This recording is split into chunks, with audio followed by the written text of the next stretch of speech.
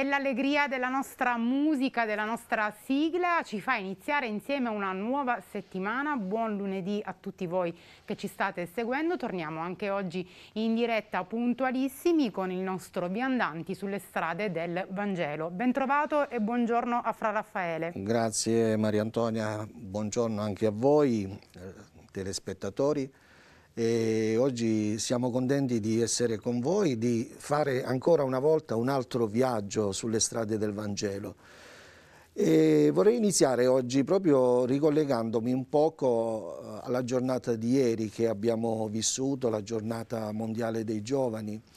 Il Papa eh, ha celebrato nella Basilica e ha detto anche delle parole che sono piene di speranze per tanti giovani rivolgendosi proprio a loro dice di stare in piedi mentre tutto va a rotoli, essere anche delle sentinelle che sanno vedere la luce nelle visioni notturne e ancora essere costruttori in mezzo alle macerie. Ecco, dicevo, sono parole proprio di speranza perché quando il Papa parla ai giovani, non parla soltanto ai nostri giovani dell'Occidente, ma io penso che ha a cuore i giovani del mondo intero e soprattutto quei giovani dove veramente si aggrappano alla speranza per vedere un mondo migliore. E allora perché non pensare anche ai nostri giovani nelle nostre missioni? Ecco, eh, nel, a livello di missione la Chiesa si è sempre impegnata per i giovani.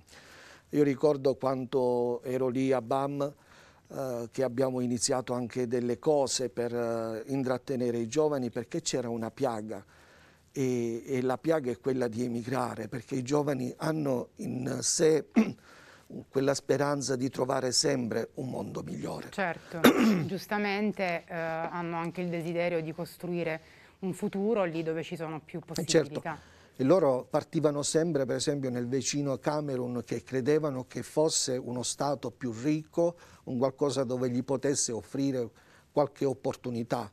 E molto, molto spesso poi ritornavano ancora più poveri di prima. Ecco perché la Chiesa diciamo, si è sempre impegnata a fare qualche cosa per loro, a dare qualcosa di diverso perché eh, il giovane non può scommettere solo su quello che deve fare, sul lavoro eh, che, che, fanno i genitori, loro sognano e sognano alla grande.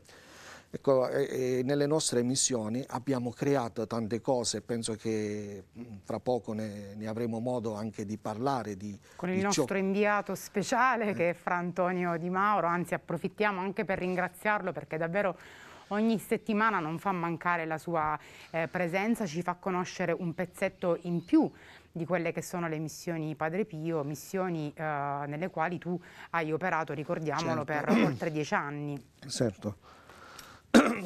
Scusa, ma mi si è messo qualcosa alla gola oggi stamattina. È normale, succede, a volte anche l'aria condizionata che ci dà eh, fastidio, però eh, Fra Raffaele, eh, adesso vedremo il video di Fra Antonio eh, Di Mauro. Um, la cosa bella, um, quando chiacchieriamo anche io e te a telecamere spente, è che tu ricordi sempre con tanto piacere il tuo periodo eh, trascorso lì eh, e quando ci arrivano anche i video di Fra Antonio che guardiamo eh, insieme eh, tu ti ricordi anche i tanti passi, eh, a piccoli passi si costruiscono grandi cose, no? Certo, certo.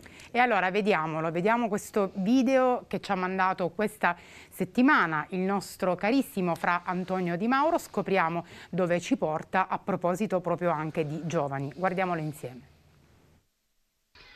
Amici carissimi di Padre Pio TV, pace e bene a voi tutti.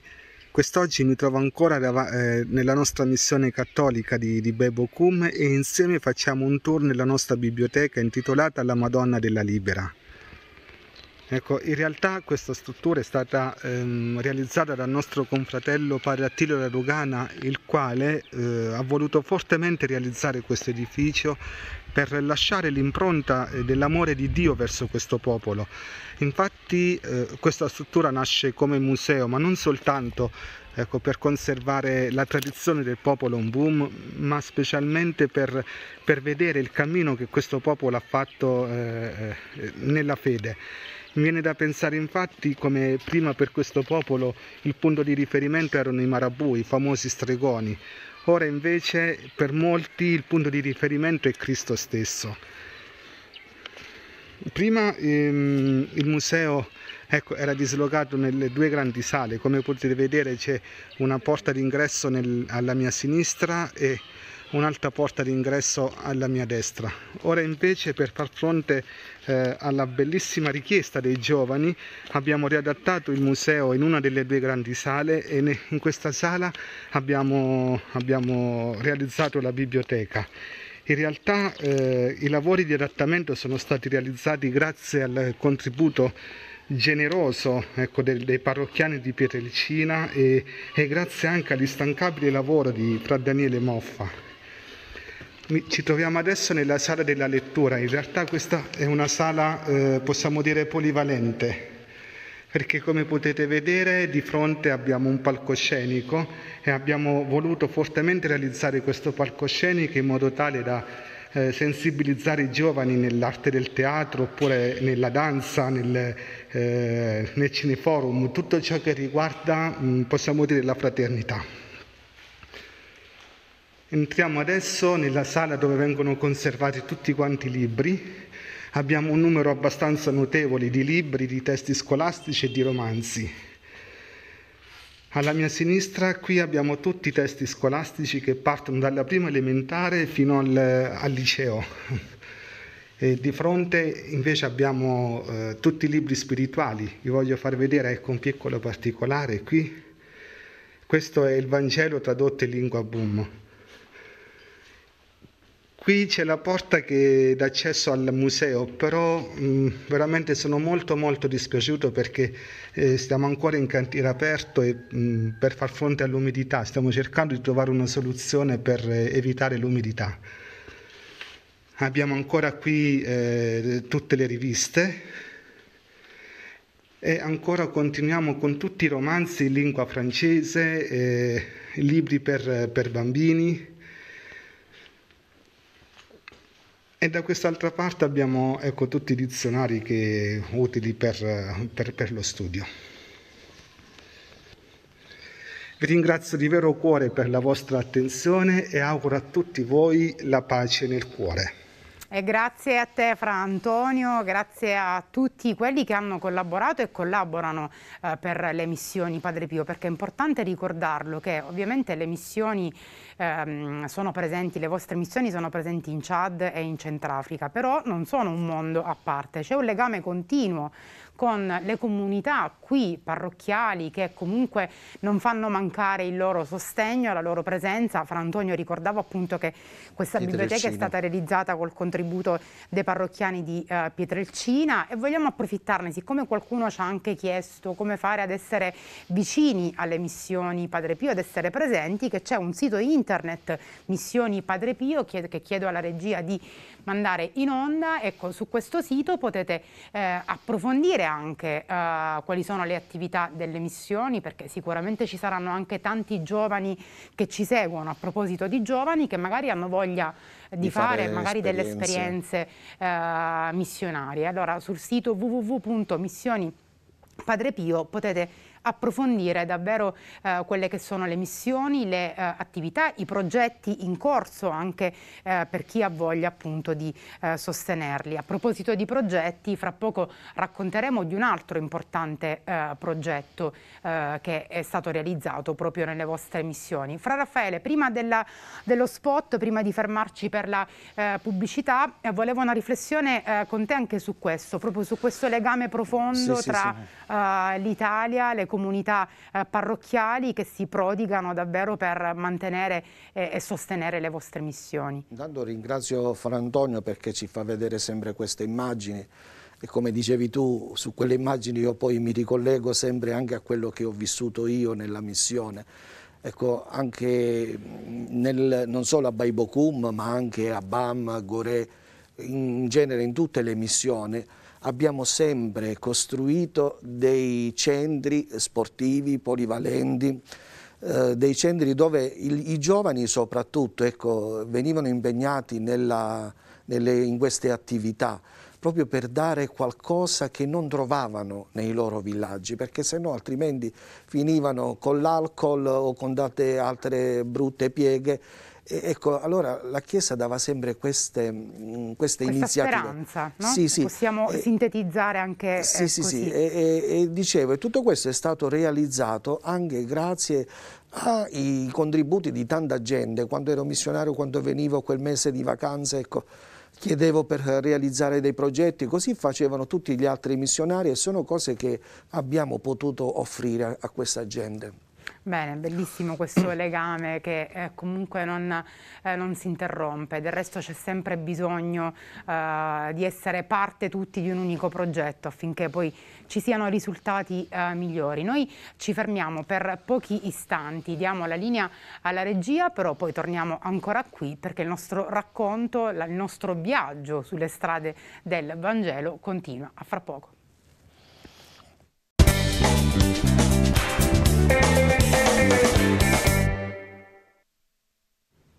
Eccoci qua, torniamo velocemente come promesso e abbiamo il piacere di dare il ben trovato, perché è un ritorno qui a Viandanti sulle strade del Vangelo, a Fra Raffaele Maddalena, segretario delle missioni Padre Pio. Buongiorno Fra Raffaele. Buongiorno Maria Antonia, buongiorno anche a Padre Raffaele, bis. Buongiorno. Eh, sì, oggi raddoppiamo, oggi siete in due, vogliamo abbondare. E, eh, ascolta Fra Raffaele, intanto io eh, ti ho presentato come segretario delle missioni, poi faccio sempre un po' di fatica con i titoli, quindi spero di non aver sbagliato. Per me sei innanzitutto Fra Raffaele, missionario. Grazie. Sì. Ascolta Fra Raffaele, eh, stiamo eh, raccontando un po' quello che ehm, sono le vostre eh, missioni, i progetti che ci sono, quelli in cantiere, quelli eh, realizzati e vogliamo con te oggi parlare di un progetto molto importante. Abbiamo nella prima parte eh, visto, grazie al nostro inviato Fra Antonio, la biblioteca, lo spazio diciamo ricreativo. Eh, c'è un progetto però che riguarda la salute e nello specifico un centro di riabilitazione che un presidio davvero fondamentale lì. Sì, sì, è praticamente un centro di riabilitazione fisica per i menomati che ho avuto la gioia e la fortuna anche di, di cui essere responsabile nel mio ultimo anno di permanenza in, in Africa. Si tratta del centro eh, in francese Notre Dame de la Paix, Casa Signora della Pace, di Mundu, un centro di 200.000 abitanti ed è un centro che è veramente un punto di riferimento non solo per il sud del Chad, della zona di Mundu, ma anche per tutto il Chad, per il Camerun vicino e per il Centrafrica a sud del Chad. Ha veramente una grande importanza oramai per lo sviluppo che ha avuto praticamente. Questo centro è nato grazie all'interesse di un padre cappuccino francese, padre Michel Gembeau, che era un fratello laico, non sacerdote, arrivato in Chad negli anni 60 e rimase veramente scioccato nel vedere tanta polio, tante conseguenze della polio, bambini e giovani che camminavano con quattro gambe praticamente, quindi, e questo lo ha colpito molto. E da quel momento lui ha pensato di organizzare qualcosa per questi bambini, ha cercato di immaginare di cominciare, siccome era uno specialista in falegnameria, ha cercato di cominciare a organizzare qualcosa facendo delle piccole stambelle in legno però col tempo ha capito, incoraggiato da alcuni medici, che poteva organizzarsi diversamente ed ha inviato alcuni giovani del posto a formarsi a, in Camerun proprio nel campo della riabilitazione e ha avuto dei giovani locali formati. Da quel momento il centro ha cominciato a svilupparsi e da dove era nato lì a Benoia, a 60 km da Mundu, e l'ha trasportato um, a, proprio nel centro di Mundu ed ha avuto uno sviluppo sempre più grande, fino ad arrivare negli ultimi decenni a un interesse grazie all'intervento di gruppi di medici venenti dalla Francia e dalla Spagna, gruppi bene organizzati dove c'era il chirurgo, c'era l'anestesista, c'era l'infermiere, l'aiuto medico, c'era tutto l'equipe, lo staff organizzato e arrivando in Chad potevano usufrui, usufruire del blocco operatorio di Mundu dell'ospedale che loro stessi avevano fatto ehm, diciamo riparare e mettere in norma convenientemente, però con l'impegno di poterlo utilizzare ogni volta che loro sarebbero scesi per delle missioni chirurgiche, praticamente quattro volte l'anno. Una volta ogni trimestre questi medici si organizzano per scendere giù, anziché fare le loro vacanze, si impegnano a scendere giù per un periodo di 15 giorni e durante i 15 giorni operare in continuazione. E vi dico che sono veramente dei miracoli che si realizzano in quel piccolo ambiente. Noi stiamo vedendo anche fra Raffaele mentre tu ci parli le immagini sì, anche che ci hai sì. dato e eh, che ovviamente documentano quello che tu ci stai eh, raccontando e eh, la sì, cosa bella ovviamente oltre al, come dire, ehm, al segno concreto di una speranza anche per queste persone di poter avere una vita eh, normale, la cosa bella è anche ehm, questa dire, unione eh, tra mondi eh, apparentemente lontani, quindi tu parli di questi medici eh, volontari, insomma questo credo che sia davvero ehm, nelle missioni la ricchezza più grande anche, no? il volontariato. Il volontariato è qualcosa di straordinario perché ci sono tante energie messe al servizio dei fratelli e che si arrivano a fare veramente miracoli, ripeto, ecco, vedere giovani e bambini che camminano all'inizio in quel modo e poi vederli camminare in piedi come noi tutti è veramente un miracolo vivente. E questo si allarga anche al mondo facciale, perché ci sono anche degli interventi in plastica nel, e vedere dei visi sfigurati, poi che ritrovano un sorriso, sono veramente miracoli nell'ordinario. Ascolta Fra Raffaele, prima parlavamo, abbiamo, vedendo il video della biblioteca abbiamo ringraziato anche i parrocchiani di Petrelcina che hanno contribuito alla realizzazione. Ora tu ci stai raccontando ovviamente anche dell'importanza fondamentale ovviamente del volontariato di tanti medici che vengono lì eh, per operare eh, in maniera eh, del tutto gratuita, ovviamente dando, eh, come dire, mettendo al servizio eh, di chi ha bisogno il talento, la loro professione. Ehm, c'è un modo anche per rimanere in contatto eh, con voi. Abbiamo prima fatto vedere il vostro sito missionipadrepio.it ehm, per chi magari ha voglia di mettersi anche eh, a disposizione per i tanti progetti eh, delle missioni. Sì, sì, è possibile perché ci sono delle richieste anche da parte degli, dei certi dispensari tenuti da suore italiane mh, penso in questo momento a Maigarou in Centrafrica, un ospedale veramente a un certo livello dove le suore di Gemona hanno realizzato quest'opera e anche lì sono veramente di una grande importanza in tutta la regione. E queste suore hanno bisogno di volontari medici e anche se sono italiani non conoscendo bene la lingua possono dare veramente un apporto importante. E allora invitiamo a visitare ancora una volta il sito www.missionipadrepio.it, lì ci sono i contatti, potete scrivere, eh, chiamare, insomma eh, sicuramente avrete risposta alle vostre eh, domande. Fra Raffaele, so che eh, c'è anche un progetto ehm, legato al, al, Natale che state eh, seguendo in qualche modo. Sì, stiamo pensando di distribuire nelle famiglie, non solo ai bambini come si faceva una volta, di distribuire i salvadanai, perché credo che sia veramente un metodo per aiutare le famiglie a pensare alla missione, all'annuncio del Vangelo, non solo un giorno all'anno, come tante volte si fa con la giornata missionaria, ma a pensarci 365 giorni all'anno.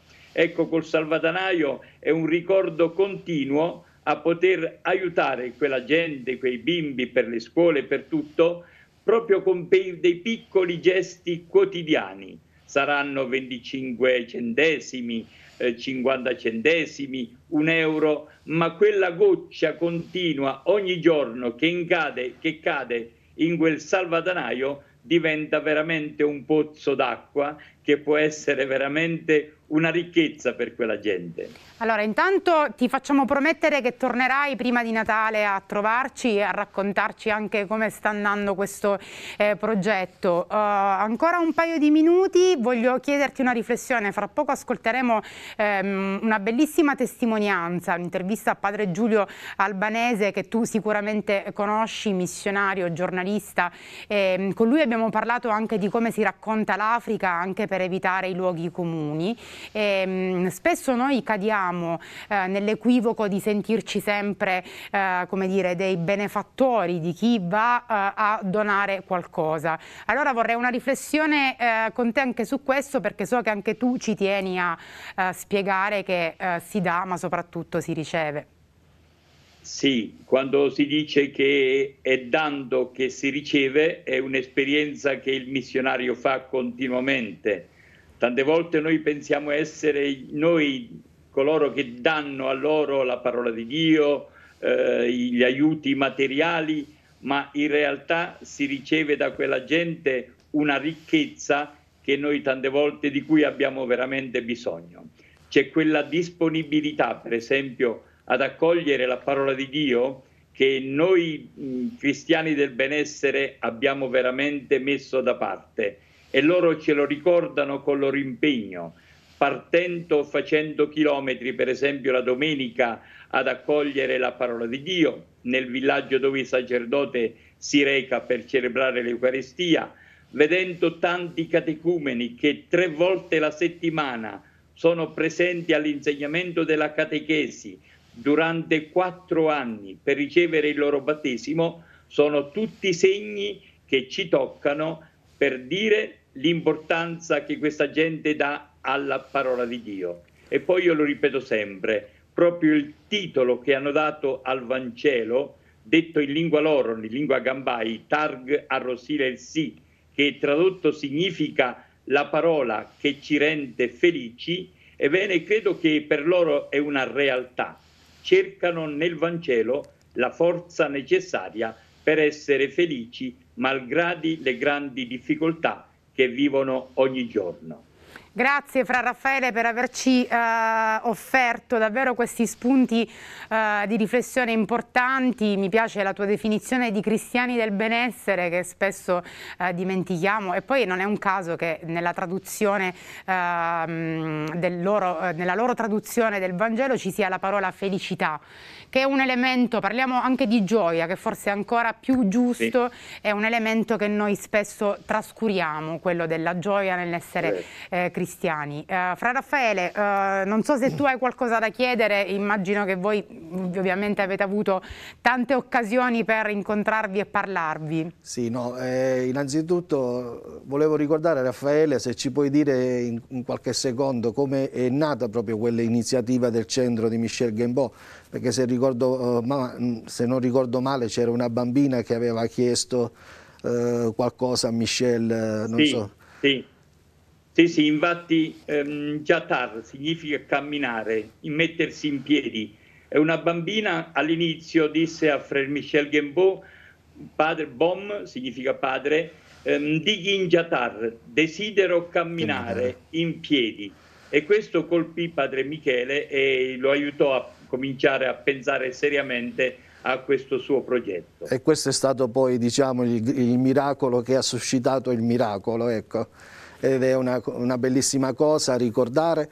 E poi anche la gioia di cui tu parlavi, noi abbiamo vissuto tante di quelle gioie in ogni cerimonia, erano danze, canti, gridi di felicità. E questo ci fa riflettere tantissimo perché veramente la parola di Dio è una parola che mette gioia nei nostri cuori. Grazie Fra Raffaele, allora mi raccomando è la promessa di tornare prima di eh, Natale, buone cose, pace e bene e a presto a questo pace punto. Pace bene padre. Pace bene e grazie a voi Maria Antonia, grazie di cuore. Grazie a te, Fra Raffaele. Allora, noi continuiamo, però ci fermiamo ancora qualche istante perché c'è ancora una breve interruzione, ma poi torniamo ancora qui, come anticipato, con la testimonianza e l'intervista a Padre Giulio Albanese.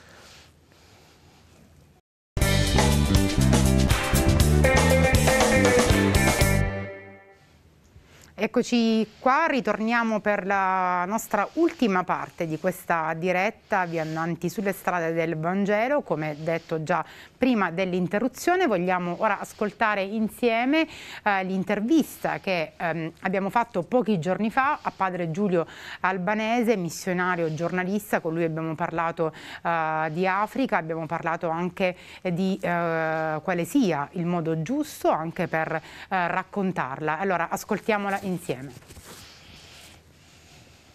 Buongiorno a padre Giulio Albanese che non ha bisogno di presentazioni, però la presento innanzitutto come missionario e come giornalista e proprio da, da queste due parole che vorrei partire, perché eh, le confesso, padre Giulio, che io mh, mm, mi sento sempre un po' scomoda quando ehm, bisogna parlare degli argomenti e dei temi che riguardano eh, l'Africa, perché mi sento, oh, temo la retorica e mh, mm, mi sento a volte anche inadeguata a parlare di tanta uh, sofferenza e di un uh, paese, un continente eh, così anche complesso come quello dell'Africa, mentre lei lo conosce eh, benissimo e allora le chiedo da missionario e da giornalista qual è il modo giusto uh, di raccontarlo innanzitutto?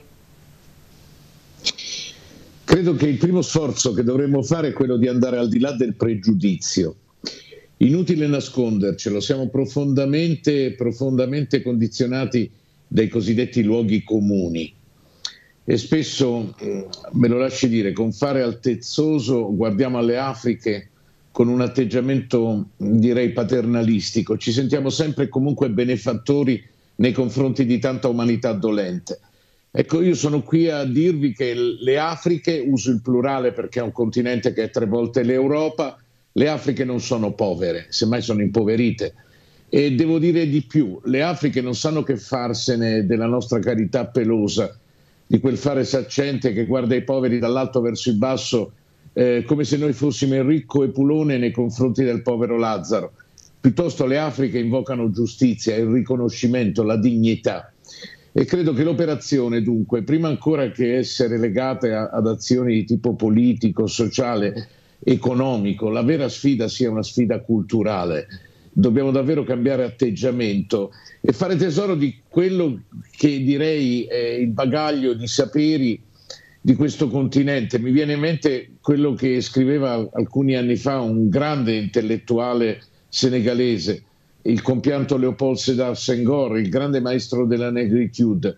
Il passato ci ha trovato divisi eh, perché le Afriche sono state terra di conquista, ma dobbiamo avere il coraggio di osare, di incontrarci all'appuntamento del dare e del ricevere perché abbiamo un destino comune. Ecco, io credo che da questo punto di vista le agenzie educative e quando parlo di agenzie educative parlo soprattutto della famiglia, della scuola, ma anche delle nostre comunità cristiane. Ecco, siamo chiamati tutti a, un deciso, a una decisa assunzione di responsabilità, perché forse mai come oggi dobbiamo entrare in questo ordine di idee. Dobbiamo contrastare la globalizzazione dell'indifferenza, stigmatizzata in più circostanze da Papa Francesco, soprattutto dobbiamo contrastare la cultura dello scarto. A proposito di globalizzazione dell'indifferenza, eh, padre Giulio, mh, mm, vorrei, una ehm, vorrei fare una riflessione con lei in questo momento. La, la pandemia ci ha, eh, travolto, ha travolto le nostre esistenze a livello globale, eh, però eh, di fatto il nostro sguardo paradossalmente è rimasto nel nostro piccolo mondo. Allora pensiamo anche al dibattito pubblico sui temi quali ehm, i vaccini, eh, qui si discute molto appunto eh, delle percentuali dei vaccinati, delle manifestazioni eh, Novax e no Green Pass, dimenticando spesso ehm, come dall'altra parte del mondo, appunto come eh, in Africa, eh, una vera campagna di vaccinazione non può esserci perché eh, manca proprio l'accesso ai vaccini. Ecco, io vorrei ricordare innanzitutto che in Africa noi da tanti anni abbiamo il flagello dell'AIDS, il flagello della tubercolosi, eh, il flagello della malaria. E, e, devo dire che il cammino che è stato fatto in questi anni eh, non è riuscito assolutamente a garantire la sicurezza dal punto di vista appunto della salute per milioni di africani. Il cammino è ancora lungo anche perché è inutile nasconderselo, per le compagnie farmaceutiche l'Africa non rappresenta una grande opportunità, perché gli africani, i governi locali non sono nelle condizioni di pagare. Poi cosa dire delle malattie tropicali neglette eh, che potrebbero essere affrontate eh, senza grande dispendio di denari se vi fosse la volontà politica di aiutare le popolazioni in particolare dell'Africa subsahariana Dunque, come dire, il Covid è, è l'ultima di una lunga serie. Eh, peraltro ho tralasciato la sciagura di Ebola, che certamente è più circoscritta dal punto di vista dei contagi. Il Covid certamente è, è, è l'ultima sorpresa e ha pesantemente condizionato le Afriche, non solo per quanto concerne il sistema sanitario dei singoli stati. Eh, se non vado errato, al momento attuale coloro che in Africa hanno ricevuto la seconda dose possono essere più o meno massimo il 3% della popolazione complessiva. Teniamo presente che in Africa vive una popolazione di oltre un miliardo e 300 milioni di persone, ma il tema è anche un altro. Non ci rendiamo conto dei side effects, degli effetti collaterali della pandemia soprattutto sull'economia continentale. E la verità è che le agenzie di rating, che sono tre, Standard Poor's, Moody e Fitch, hanno pensato bene nel corso della pandemia di declassare le migliori economie africane. Appena era esplosa la pandemia in Africa hanno declassato le 10 migliori economie africane. Questo naturalmente ha fatto sì che i titoli obbligazionari di questi paesi diventassero spazzatura, carta straccia il che ha aperto una voragine per quanto concerne eh, il debito. Il debito rappresenta davvero la vexata questio per molte nazioni africane.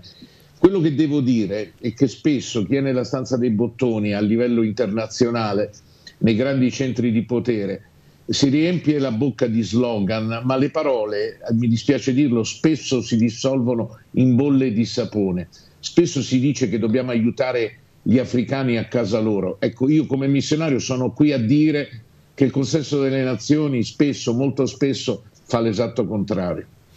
Ecco, a proposito di, di, missionari e a proposito anche di situazioni uh, di terre uh, provate e messe in ginocchio anche da uh, conflitti, um, apriamo un attimo una parentesi sull'Etiopia che da circa eh, un anno è um, attraversata da un conflitto che ha causato davvero tante vittime e una grave crisi umanitaria. Amnesty International eh, parla di un'ondata di arresti su base etnica. Lo scorso 5 novembre erano stati arrestati 17 missionari salesiani, poi eh, rilasciati. Eh, lei in un'intervista ehm, definì i missionari, eh, e immagino si riferisse a, soprattutto a quelli presenti appunto in queste zone di guerra, caschi blu di Dio. Sì, nel senso che sono una pacifica forza di interposizione tra gli opposti schieramenti.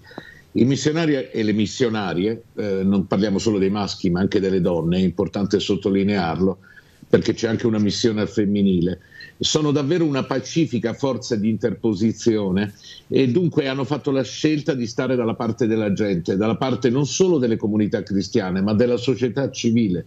I nostri missionari e missionarie spesso sono davvero araldi del Vangelo, nel senso che testimoniano i valori del regno penso alla pace, alla giustizia, alla solidarietà, al bene comune, il rispetto del creato.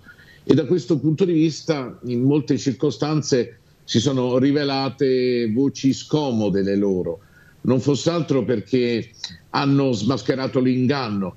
Ricordiamo che ci sono milioni e milioni di persone che spesso vengono immolate sull'altare dell'egoismo umano in nome del Dio quattrino. E quando dico Dio quattrino è Dio con la D minuscola. La verità è che in Africa noi abbiamo una quantità smisurata di commodity, vale a dire le materie prime, raw materials, e spesso queste guerre che si combattono si combattono per interessi economici, per il controllo delle risorse minerarie. E mi viene in mente quello che diceva un grande economista francese, francese morto a Roma nel 1850, Frédéric Bastiat, il quale diceva in un suo trattato sul libero scambio delle merci, eh, dove non passano le merci, passano gli eserciti. Questo a significare che l'aspetto economico spesso condiziona il destino dei popoli. Questo era vero per l'Europa un tempo, per certi versi lo è ancora oggi, guardando a quello che succede sul versante orientale del vecchio continente, ma direi è vero, verissimo, di grande attualità per le Afriche del nostro tempo. Noi la ringraziamo davvero Padre Giulio per averci fatto compagnia in questo spazio, per averci portato le sue importanti riflessioni e considerazioni. Grazie davvero. Grazie a voi. Davvero interessante far Raffaele questa intervista a padre Giulio, eh, ovviamente il racconto di um, un uomo che conosce profondamente eh, quei luoghi e che ovviamente ci offre anche un punto di vista eh, diverso rispetto a quello appunto um, a cui siamo magari abituati a pensare. No? la povertà, sì, la crisi sì, economica. Sì, mi ha eh, colpito eh... soprattutto quando lui ha detto l'Africa non è povera ma è impoverita. E si vede che è un uomo che conosce come tutti i missionari, anche quella frase che ha detto alla fine, dove non passano le merci, passano gli eserciti. Ecco, sono realtà che, che veramente si vivono in Africa, perché dietro a quelle guerre, dietro a, quelle, a, a a questi conflitti no, che nascono come focolai da una parte e dall'altra, c'è sempre l'interesse, eh, non so se si può dire, di, di, di multinazionale, di, di, sfruttamento dell'oro, de, de, di diamante, di, delle tante, materie prime. Sì, di tante materie prime che è in quel modo che l'Africa viene veramente impoverita, perché l'Africa, io posso anche dirlo e testimoniarlo, l'Africa dove eravamo noi è ricchissima di tante terre, se solo ci fossero che ne so, motori per arare la terra, eh, pompe per eh, fare pozzi artesiani e tirare l'acqua, irrigare. Ecco, tutto questo veramente sarebbe una, una ricchezza per l'Africa e vedremo anche tanti giovani che si inserirebbero molto facilmente invece di fuggire e poi fanno apparire che si fugge perché ci sono le guerre, ma certo. sono guerre create. Allora, grazie Fra Raffaele per essere stato con noi anche questa mattina, ringraziamo ovviamente tutti voi per averci eh, seguito, eh, viandanti sulle strade del Vangelo ritorna come sempre lunedì, ora lo spazio è con l'informazione del mondo intorno. Grazie. Pace bene.